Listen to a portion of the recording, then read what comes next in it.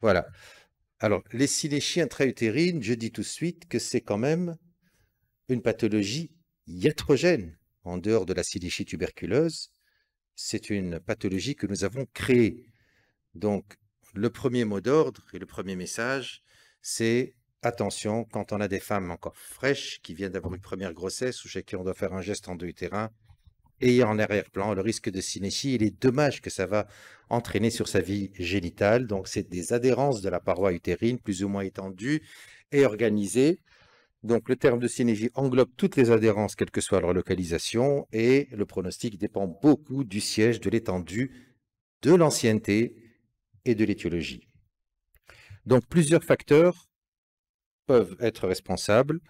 Euh, comme euh, la survenue de grossesse, des malformations utérines qui engendrent des fausses couches, des manœuvres endouutérines et l'éternelle euh, infection qui est la tuberculose, dont nous ne savons pas quelle est vraiment sa fréquence en Tunisie. On sait qu'elle est rare, mais de temps en temps, il nous sort une synéchie qui présente un aspect de tuberculose ancienne et qu'il est très très difficile de traiter. Alors, les synéchies donnent des troubles de règles, on le sait. Et surtout, la part de l'infertilité n'est pas tout à fait évidente puisqu'on a des patientes qui ont des petites synéchies qui peuvent être enceintes. Faut-il les traiter ou pas? Mais en général, il faut euh, être plutôt agressif parce que l'ancienneté de la synéchie compte beaucoup. La gestion des fausses couches, qui est une pathologie que tous les gynécologues voient, n'est pas aussi simple que ça, puisqu'il faut essayer de prendre son temps, de privilégier les expulsions spontanées, d'attendre les évacuations, de ne pas trop attendre pour éviter que cette rétention devienne ancienne, qu'elle se surinfecte et qu'elle crée des synéchies. Le diagnostic n'est pas toujours évident. Éviter les surinfections des euh, rétentions utérines. Et le but, c'est d'intervenir chirurgicalement. Quand je dis chirurgicalement, je parle essentiellement à l'hystéroscopie pour reconstituer une, une cavité de morphologie normale. Mais utiliser les bons instruments et la bonne technique pour éviter les réaccolements les pathologies qui risquent de donner les réaccolements. Je pense aux fibromes en miroir, je pense à certaines pathologies qui sont plus adhésiogènes que d'autres. Donc, la place de l'hystéroscopie est fondamentale. Donc, il faut dominer cet outil hystéroscopique. La prévalence elle existe. Les synéchies sont une pathologie qui n'est pas rare, 2 à 40% Une augmentation récente a été observée puisqu'on a un accès plus facile à l'hystéroscopie, donc le diagnostic est plus évident. Avec tous ces des petites synéchies marginales qui ne sont pas toujours faciles à diagnostiquer par l'écho et euh, l'IRM. Et vous voyez que dans, euh, je ne sais pas où est la flèche, que dans une série par de Fernandez, il euh, la place en troisième position dans les hystéroscopies après les myomes et les polypes. Donc, je passe la parole à Nabil pour revenir parler des vidéos par la suite. Mmh, merci. Donc, euh, après chaque euh, adésolyse hystéroscopique, l'objectif principal, c'est de prévenir la survenue de ces, de ces adhérences. Donc, tout en sachant, donc, l'objectif de traitement chirurgical, c'est de prévenir les récidives. Et euh, ces récidives, le taux est évalué selon les études entre 3 et 23% des cas, selon la gravité et selon le traitement chirurgical réalisé. Alors, quels sont les facteurs de risque de ces synéchies Alors, on sait qu'il y a plusieurs situations au cours desquelles on peut avoir des synéchies, notamment les curtages utérin, les aspirations réalisées en cas de grossesse, ou euh, au cours de la grossesse pour des grossesses arrêtées, ou en cas d'aspiration pour des interruptions volontaires de grossesse, les ablations du fibrome intra-utérin intracavitaire aussi, c'est une source de, euh, de, survenue de, synéchie, surtout si on va réaliser une hystéroscopie opératoire pour réséquer plusieurs fibromes. Les infections, c'est l'une des, causes fréquentes de survenue de synéchie. La révision utérine pratiquée lors d'un accouchement ou en cas d'hémorragie de délivrance, lorsqu'on va réaliser un capitonnage dans le cadre d'une hémorragie de délivrance, ça, c'est une situation qui est très fréquente, responsable de survenue de synéchie. Les embolisations aussi qui sont réalisées soit pour des causes gynécologiques, soit, pour des euh, causes obstétricales, notamment l'hémorragie de la délivrance et pourvoyeuse de synéchie. L'ablation de la muqueuse utérine, l'endométrectomie, bien sûr, c'est l'objectif euh, cherché en, euh, en réalisant cette endométrectomie. Alors, sur ce tableau, on voit que essentiellement les causes de ces synéchies, le capitonnage utérin avec une incidence de 20,7%, pour les, résections des fibromes, on voit que l'incidence passe de 5% à, 7, à 38% si on réalise une résection pour plusieurs fibromes. Et enfin, il ne faut pas oublier les causes obstétricales ou l'embolisation des artères utérines pour euh, cause obstétricale ou pour euh, prendre en charge des fibromes utérins. Elle est pourvoyeuse de 10% euh, de signifié. Il y a plusieurs classifications qui ont été publiées pour... Ouais, ça va Ah, d'accord. D'accord, donc il y a plusieurs euh, classifications qui ont été euh, proposées par la littérature pour mieux euh, définir et classer ces, ces Alors, la plus ancienne, c'est celle de Marsh. Il y a d'autres classifications qui ont été réalisées par la Société européenne d'hystéroscopie, mais aussi la plus complète et la plus descriptive, c'est la classification de l'Association européenne d'endoscopie, où elle définit cinq grades pour ces euh, elle précise le siège, l'étendue et le type de ces mais la plus utilisée, c'est la classification américaine de euh, la Société américaine de fertilité, où elle classe en trois stades et elle définit euh, les stades en fonction de siège de ces, synégies inférieur à un tiers, deux tiers, euh, supérieur à deux tiers, le type d'adhérence, est-ce qu'elle est vélamenteuse, est-ce qu'elle est dense, est-ce qu'elle est scléreuse, et aussi est-ce qu'il y a association d'anomalies du cycle euh, des. Donc, il est important, selon les guidelines euh, européennes, de, bien préciser et de classer ces, ces puisque ça va conditionner le pronostic, euh, puisqu'il est lié ou couplé cette importance synéchie, l'importance de synéchie à la gravité des adhérences. Aussi, euh, le fait qu'il y a plusieurs systèmes de classification rend l'interprétation des différentes séries, des différentes publications parfois difficiles. Et actuellement, il n'est pas possible de trouver un système spécifique pour ces différentes classifications. Alors, la symptomatologie, elle est euh, très variable. Essentiellement, elle est faite par les troubles du cycle. Et on voit, elle est variable. On peut aller d'une aménorrhée jusqu'à euh, l'époménorrhée en fonction de l'étendue du siège de euh, la synéchie. L'infertilité, elle est expliquée essentiellement par les causes mécaniques, soit les sténoses cervicales, soit l'absence d'implantation, soit par l'obstruction tubaire si la synéchie va bloquer l'ostium tubaire. Les complications obstétricales sont essentiellement en rapport avec euh, le traitement euh, chirurgical, notamment les fausses couches, les accouchements prématurés ou le placenta accreta. Alors, le diagnostic échographique, l'échographie joue un rôle important pour le diagnostic. Il peut aider à poser le diagnostic de ces synéchies en montrant cet euh, aspect, voilà, l'accollement, voilà, l'accollement entre les deux euh, surface utérine où elle peut visualiser une calcification au niveau de l'endomètre. L'hystérosonographie, on va bénéficier de l'apport de cette euh, solution euh, saline qui va permettre de voir les différents pertuis et les différentes synéchies puisqu'elle peut visualiser toute la cartographie de cette synéchie et aider par la suite le traitement chirurgical de ces synéchies. Euh, l'hystéroscopie, c'est le maître examen pour poser le diagnostic de synéchie, pour traiter. Il permet de classer l'étendue et le type de ces. Voilà. L'hystérosalpingographie, c'est un examen aussi très performant pour le diagnostic de ces synéchies en montrant des lésions qui sont euh, irrégulières. Et euh, généralement, il y a une bonne concordance entre l'hystérosalpingographie et l'hystéroscopie. Voilà des images de différents types de synéchies à l'hystéroscopie. Alors, l'hystéroscopie, euh, selon les guidelines européennes, donc c'est l'examen euh, de première intention pour le, diagnostic de ces synéchies. L'hystéroscopie, c'est l'examen, euh, si jamais on ne dispose pas d'hystéroscopie, c'est l'hystérosalpingographie ou l'hystérosonographie qui peuvent représenter une bonne alternative. Il n'y a pas de place à utiliser l'IRM pour le diagnostic de ces synéchies. Alors, pour parler des traitements, on va passer la première vidéo, s'il vous plaît. On va passer trois petites vidéos pour schématiser trois niveaux différents de gravité de la synéchie.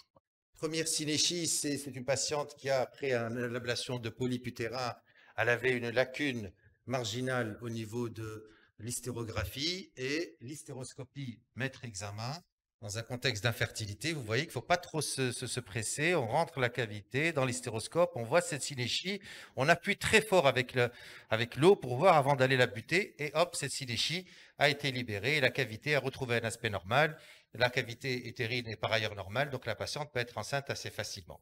On passe à la deuxième, à la deuxième euh, vidéo, c'est une euh, vidéo avec un deuxième niveau de gravité. Euh, voilà, là-bas, tu passes la première vidéo.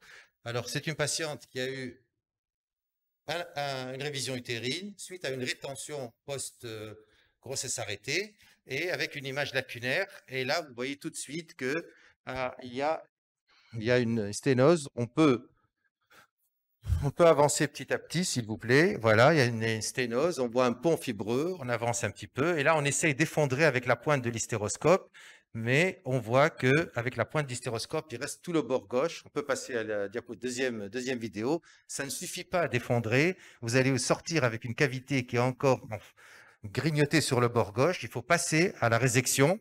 Donc vous pouvez entamer un travail sans courant pour ne pas être agressif et terminer le travail avec une pointe bipolaire autant que possible. C'est pas toujours euh, deuxième vidéo. Donc c'est toujours la même patiente, mais donc on est passé en avec la, pointe et là c'est beaucoup plus facile. Ça c'est une pointe monopolaire. Dans le temps, ce jour-là, on ne disposait pas de, la bipolaire. Là, il faut être le plus économe possible et il faut essayer de réséquer ces petits ponts fibreux qui restent. Vous voyez, en espérant que euh, la muqueuse va euh, coloniser ces, ces zones qui ont été euh, incisé et la cavité, donc, après avoir euh, effectué un premier temps avec l'effondrement, on peut, on peut passer à la troisième vidéo. Donc, la troisième vidéo est un cas beaucoup plus complexe. C'est une patiente qui avait une thrombophilie, qui a fait deux fausses couches, dont un avortement tardif, qui s'est compliqué. Et, le troisième, c'était un hématome rétroplacentaire et qui a entraîné une rupture utérine pour laquelle la patiente a été prise, euh, a été opérée en urgence avec un capitonnage, une évacuation de la grossesse dans un contexte orthoblastique difficile et un capitonnage autant que ce soit peu de la cavité, vous voyez, en rentrant. Bon, je ne vous ai pas montré l'image hystérographique avant que j'ai, je vous la montrerai après, avant et après. Donc, il y avait juste un petit pertuis ici. Euh, c'est un doigt de gant, l'hystérographie, c'était un aspect en doigt de gant. Donc, euh, on a commencé à rentrer avec l'hystéroscope, on avance un petit peu, puis on a décidé de libérer à la bipolaire les bords pour avoir un aspect un peu plus, on avance un petit peu, s'il vous plaît. On avance, on avance petit à petit. Pas, pas, jusque là-bas. Non, non, non, jusqu'à troisième, quatrième, quatrième minute. On avance encore. Voilà, on a mis la, pointe. On avance. On avance, voilà. Et on a essayé d'agrandir un petit peu la région ismique qui était euh, pour voir un petit peu ce que on pouvait avoir. Et au fur et à mesure, on était sous contrôle échographique. C'est une patiente que nous avons faite il y a trois ou quatre mois. C'était Khal Bahmoud qui me guidait échographiquement. Alors, on arrive à la septième minute, s'il vous plaît, parce que échographiquement, il vous dit derrière, il y a du mur, il y a, un petit peu d'endomètre, il y a du mur utérin, et on avance encore, on commence à avoir une petite cavité, et là, on en aperçoit un petit trou. Et l'échographiste vous dit encore de l'espace pour pouvoir inciser. Septième minute, s'il vous plaît, et on commence, on a peur, on a peur de se retrouver derrière euh, l'utérus au niveau des intestins. Et donc là, on a passé la septième minute. Là, on commence à avoir une cavité qui est présentable. Chauffe les fenêtres, quelle minute tu es. Voilà, on a agrandi la cavité. Ceci dit, c'est une patiente qui, ça fait quatre mois qu'elle été Elle garde un endomètre parce que c'est pas fini, le problème n'est pas fini. Vous voyez, la cavité maintenant est reconstituée. Elle a un ostium gauche qui est visible l'ostium droit n'est pas visible, donc on ne va pas inciser autre mesure pour essayer d'éviter les problèmes d'atrophie importants de l'endomètre. Erja, les septième minute, je, voulais, je voudrais... 7 minutes 30. 7 minutes 30. 30.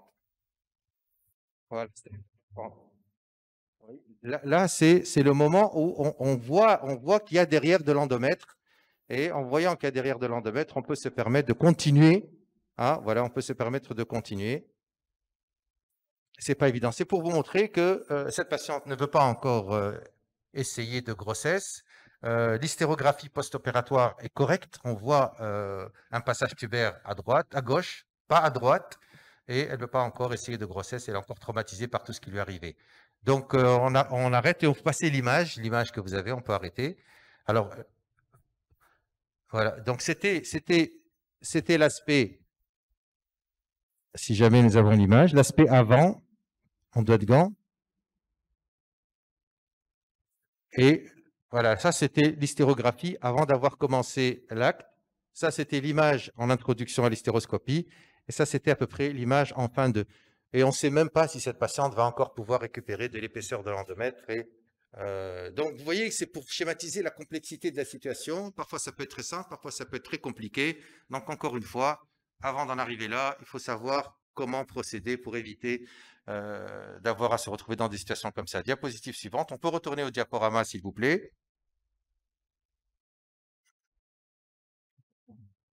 On retourne au diaporama pour parler maintenant de synéchie, de la fertilité, du, pronostic et euh, de, des résultats. Alors on est...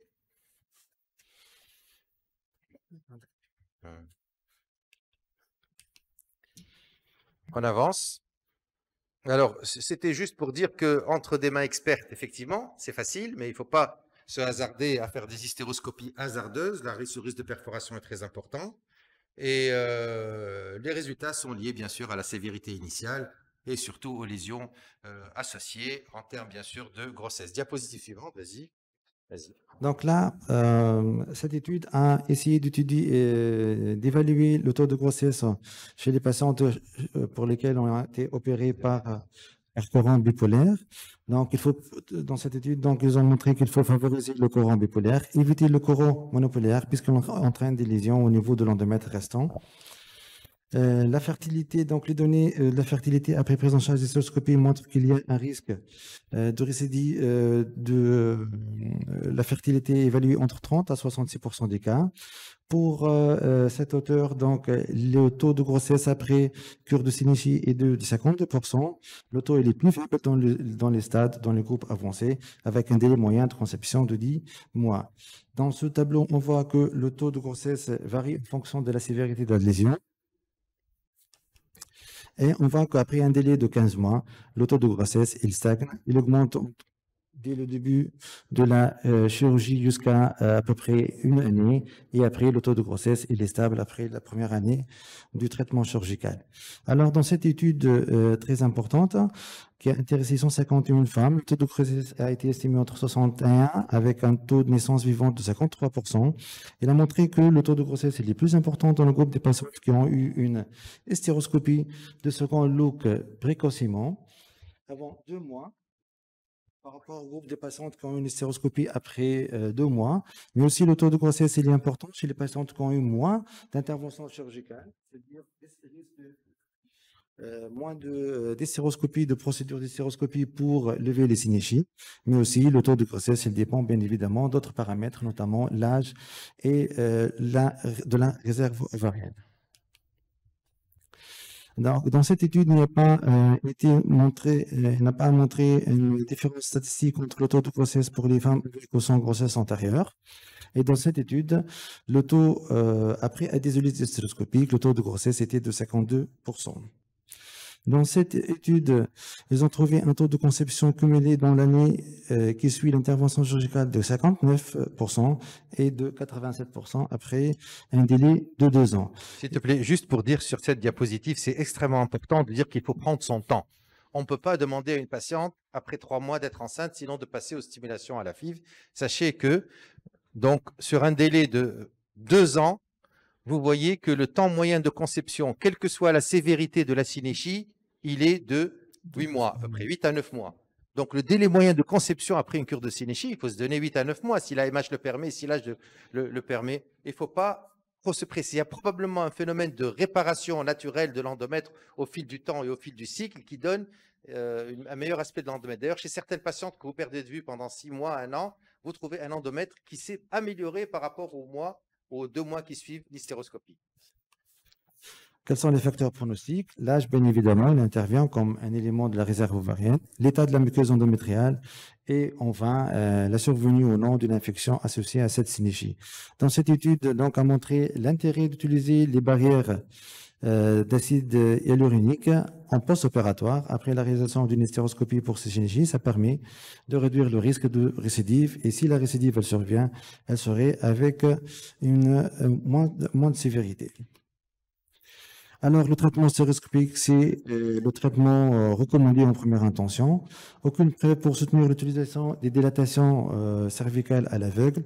Et pour les femmes qui ne souhaitent aucune intervention, l'expectative peut être proposée mais avec un taux de grossesse qui est faible. Do- Donc, pour les autres moyens de prévention des récidives, tels que le stérilet, le ballonnet, euh, c'est vraiment démodé, je dirais. Ça ne, ça ne fait pas l'unanimité. Les études ne montrent pas plus d'efficacité. Il y a le gel d'acide hyaluronique qui paraît prometteur, mais encore qui est assez controversé. Donc, en conclusion, il faut euh, insister sur la prévention primaire et la prévention secondaire. Toute chirurgie endocavitaire en abdominoplastie doit être minimaliste, doit être minutieuse et éviter le traumatisme endométrial. On ne va pas traiter une synéchie et altérer l'endomètre à côté. Les barrières, on est bien obligé de les utiliser quand on les a. C'est pas, on n'a pas de, euh, il y a le barrière en Tunisie, mais euh, on peut de temps en temps, désespoir de cause, être amené à utiliser ces gels.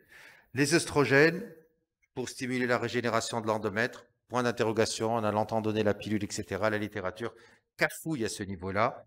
Le DU, le ballonnet également. Diapositive suivante.